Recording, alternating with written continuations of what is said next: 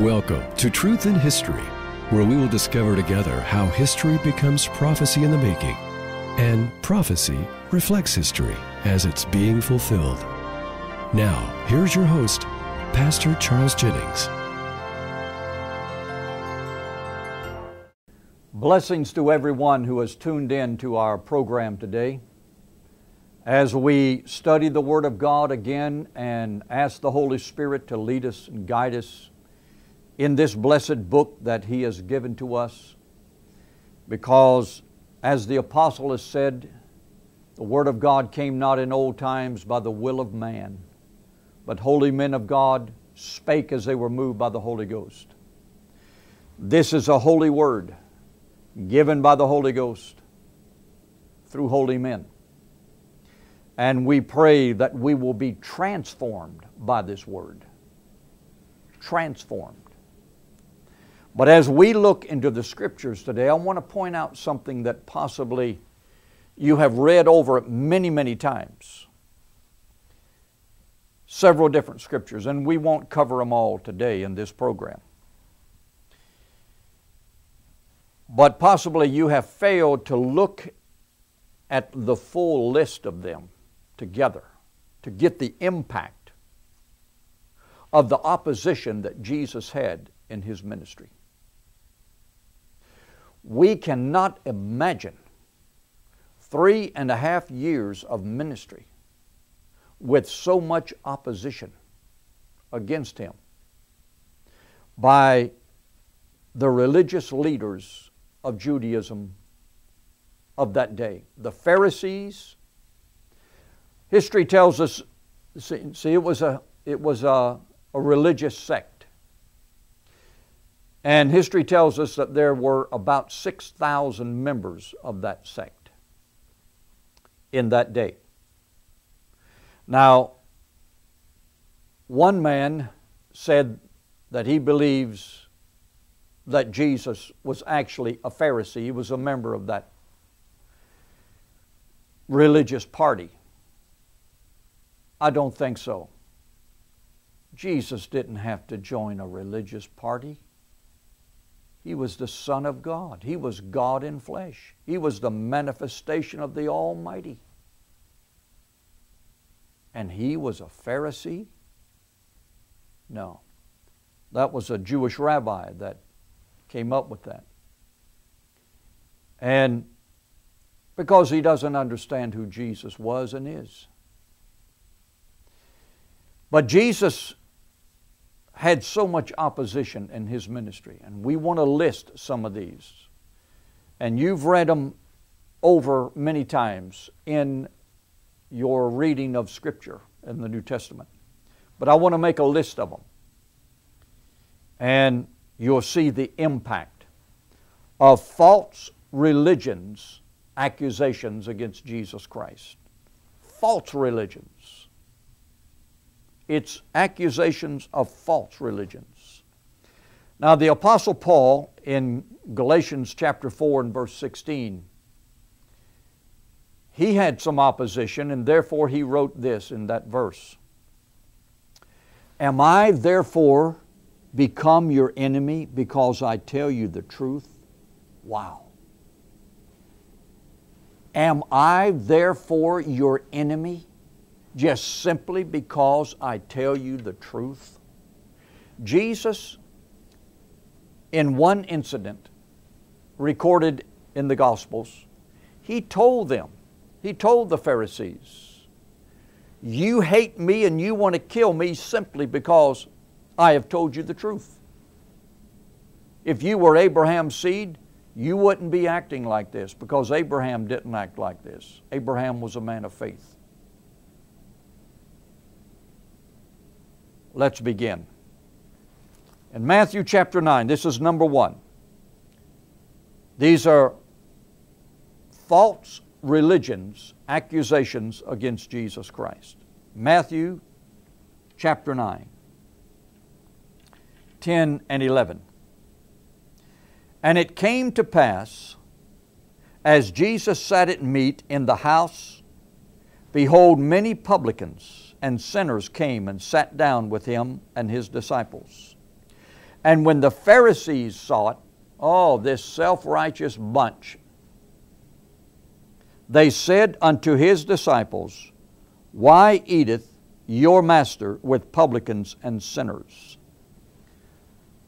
A publican was a tax collector. Now, there were two different types of publicans. There were publicans who worked for Rome that actually bought the taxes of a certain district.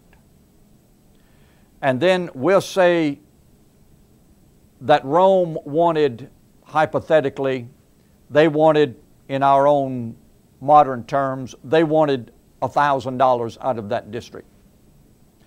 This publican, who was unethical, crooked, would force he would put a lot of pressure, coerce people to pay more than their share so that he could collect, we'll say, $1,500. Instead of 1000 he could collect 1500 He'd give Rome the 1000 and keep the 500 for himself. Crooked. Crooked as a barrel of snakes. And then the second class were sinners and Jesus went into the house and sat with these people. I forgot to tell you, the second category of publicans were those who simply sat at the gate or at a bridge or a highway and collected a toll. They weren't quite as bad. But they were looked down upon as being criminal because no doubt they were. But Jesus sat at meat with these people. And so, therefore, the, the Pharisees approached the disciples of Jesus, said, Why is your master eating with sinners, with criminals, with the publicans? they accused him of being a keeper of bad company. Number one, a keeper of bad company. Let's go to Mark chapter 3, and we read this. In Mark chapter 6, excuse me, Mark chapter 6 and verse 3. Is this the carpenter, the son of Mary, the brother of James and Joseph and Judah and Simon? And are not his sisters here with us? And they were offended at him. Because, as we read in verse 1 and 2,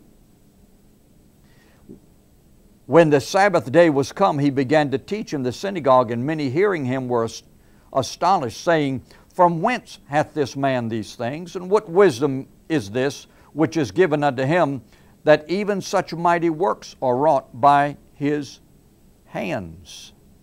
And then they said, Is not this the carpenter, the son of Mary? They were offended. They considered him, number two, of poor common stock. They fail to recognize his deity. Oh, he's just, he's just an old Joe, that's all. He's just one of us. Oh, he's, uh, he's, he's uh, a brother to James and Joses and Judas and Simon. We know them. They're just common men, and so is this Jesus. He's just poor, common stock. They would not recognize, they would not recognize who Jesus was. Now, this incident in Mark 6 took place in Galilee. That was his home territory. That was his home base, Nazareth of Galilee. So he's just one of us. They failed to recognize who Jesus really was. And Number three, this same passage of Scripture, Mark chapter 6, verses 1 through 5. They considered him just a laborer, a carpenter, a lowly worker. That's it. That's all he is. He's just a carpenter. Is this not the carpenter? We saw him in the shop there. He's nothing special. He's just a laborer. That's all. In Mark chapter 3, verse 22, we read this. And the scribes which came down from Jerusalem said, He hath Beelzebub, and the prince of the devils casteth, and by the prince of the devils casteth he out devils. And he called them unto him and said unto them in parables, How can Satan cast out Satan? And if a kingdom be divided against itself, that kingdom cannot stand. And if a house be divided against itself, that house cannot stand. And if Satan rise up against himself and be divided, he cannot stand, but hath an end. No man can enter into a strong man's house and spoil his goods, except he will first bind the strong man, and then he will spoil his goods. The accusation of false religion was that Jesus was possessed by Beelzebub, demon possessed, the prince of the devils, the prince of the devils.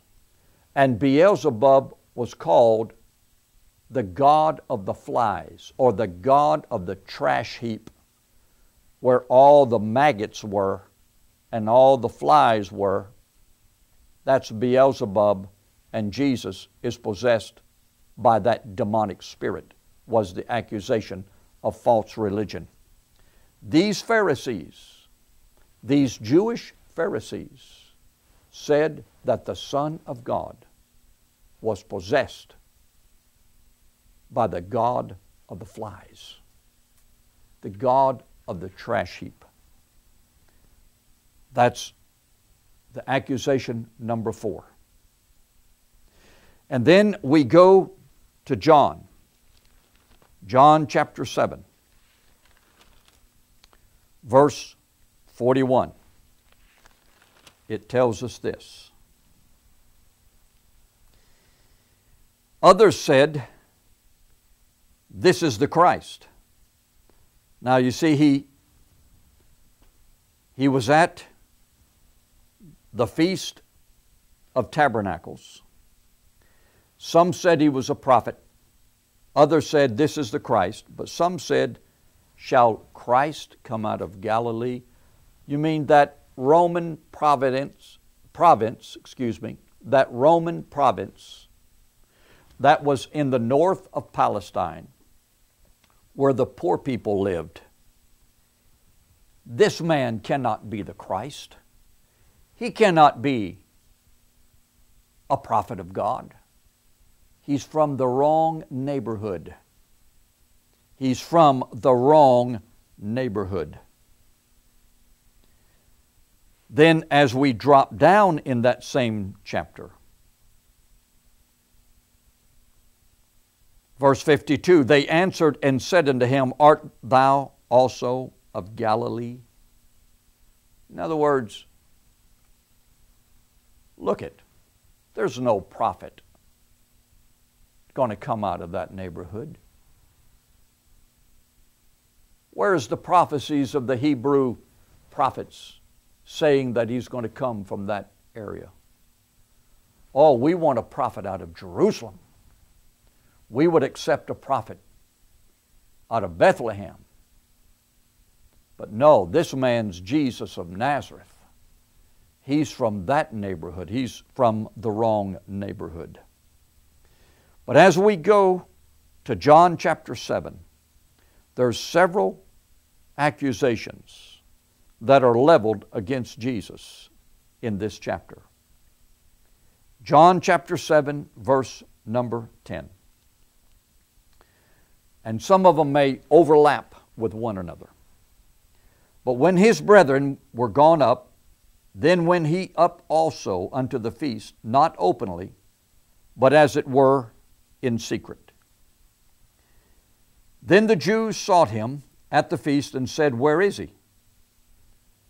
And there was much dispute, murmuring among the people concerning him, for some said, He is a good man. Others said, Nope, he's not a good man. He deceives the people. Howbeit no man spake open, openly of him for fear of the Jews. The Jews of that day, they were murmuring. They, some of them said, He's a prophet. Others said, He's a good man. But some Jews said, He's a deceiver. He's nothing but a deceiver and a hypocrite. Now you might say, well, the, you know, these things aren't too bad. But how would you like to have a ministry where these accusations are leveled at you practically every day? Could you function under the stress? Could you function under the stress? In John chapter 7, verse 14 and 15, now about the midst, now about the midst of the feast, Jesus went up into the temple and taught.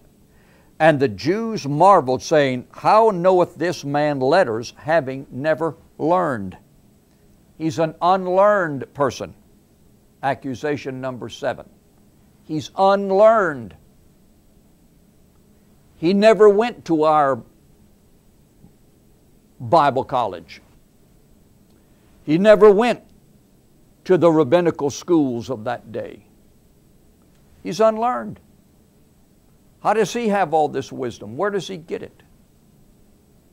We cannot, we cannot accept him because he is unlearned. Now, these, it says, then the Jews sought him at the feast and said, Where is he? And there was murmuring some said he's a good man, others said he's a deceiver. Well, there's people even today still say the same thing. Now, we must realize that it was the Pharisees, the Jewish Pharisees, and the scribes, and the Sadducees, and the Herodians, and sometimes just the common people that were coming against the Lord Jesus. But everywhere he went, the Bible tells us he went about doing good. But everywhere he went, every meeting, everything that he did good, there was somebody as an opposer, as a devil. And the word devil means adversary or opposer. And it was the devil in these people. Well, who's confronting the Lord Jesus today. There are people today, religious people, there are people even to this very day that would love to openly oppose Jesus Christ and dethrone him. And they have come up with all types of accusations against him. Keeper of bad company, of poor common stock, a laborer possessed of the devil, from the wrong neighborhood, a deceiver, a hypocrite, and now unlearned. Let's read another one. In verse 16, Jesus answered them and said, My doctrine is not mine, but his that sent me. If any man will do his will, he will he shall know of the doctrine, whether it be of God or whether I speak of myself. He that speaketh of himself seeketh his own glory. But he that seeketh his glory that sent him, the same is true, and no righteousness, no unrighteousness is in him. Did not Moses give you the law, and yet none of you keepeth the law? Why go ye about to kill me? The people answered and said, Thou hast a devil. Thou hast a devil. They accused him of being demon possessed. Your mind is perverted. Your spirit is perverted. You're not from God. You're from the devil. You're a spokesman of the devil. Do you know? Several years ago, an American psychologist and psychiatrists, a few of them got together and they read the New Testament, especially Matthew, Mark, Luke, and John, and they wrote an article. And this is what it said that Jesus Christ was a self deceived religious fanatic. He was a psycho. Well, that's the same thing that the people of, of Jesus' day said about him. These people came to him scribes, Pharisees. These were the religious people that could influence thousands. And then he had a persecution complex. Persecution complex. Verse 20 Who goeth about to kill thee? Ah, oh, there's nobody out to kill you. You're just, you, you have a complex. You have a religious complex, you need to get over it. That's what they're saying. Well, do you know that a lot of liberals today are saying of Christians, oh, you have a persecution complex. Get over it. Because we see a threat against our Western civilization and our way of life, our Christian way of life. And the liberals are saying, oh, you're self deceived. Oh, ah, you're just uh, conspiracy nuts. There's nothing going on. And there have been psychologists that have said every conservative Christian in America, speaking mainly of Americans, every Christian conservative in this country is mentally ill. They have said that. Something wrong with them mentally. That's the same accusation they leveled against Jesus. He had a persecution complex. Now, that's eight accusations, eight and nine. He was possessed of the devil, had a persecution complex. But we drop down to verse number 23.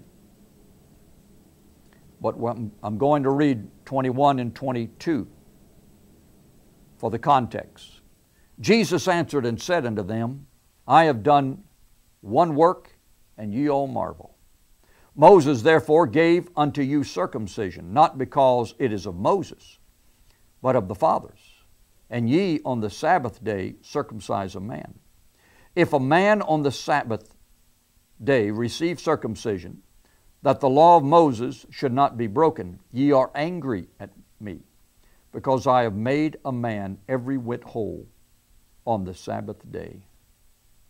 He is a provoker to anger. A provoker to anger. This man, Jesus, just provokes people. He makes us angry. Jesus had to endure every one of these accusations. He makes us mad. And Jesus Christ still makes a lot of people mad.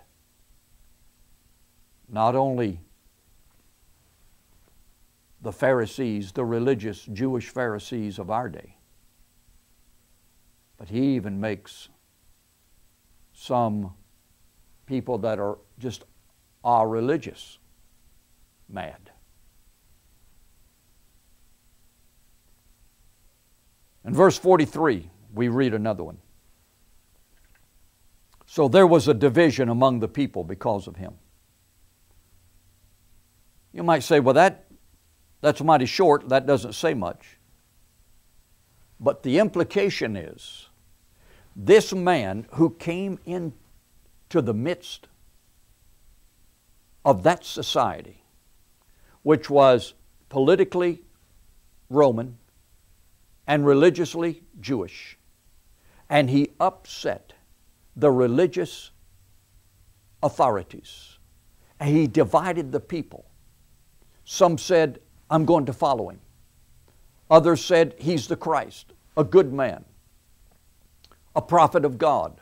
What do you think that the Jewish Pharisees were thinking? We are losing influence and control over the people. He's dividing the people. We have got to get rid of him. We must get rid of this man, Jesus Christ. He's a divider of the people. I'm pointing these things out, folks, to let you know concerning false religions, accusations against the Lord Jesus Christ. I'm sure you have read them many times in the Bible, but never put them all together. That's what I'm trying to help us to understand the impact of all these accusations against the Lord Jesus. They hated him. The Pharisees hated him. The Sadducees, the Herodians, they hated him. But the common people heard him gladly. We would like to make this free offer of our magazine that will come to your house if you just simply call us or write us. We'll be more than happy to put you on our mailing list. And yes, it's free. And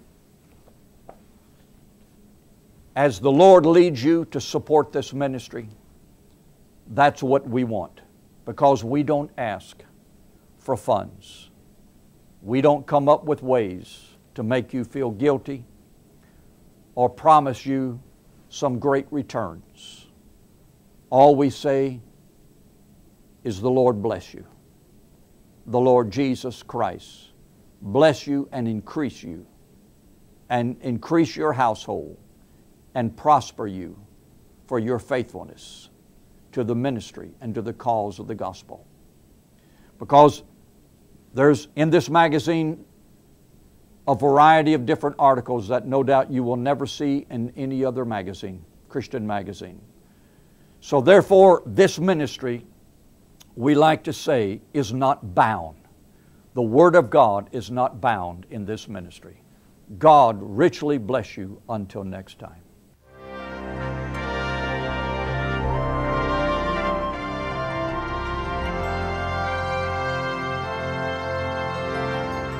For any material offered on this program, please write or call for your copy today. May God bless you for your response and for being a part of this end time ministry.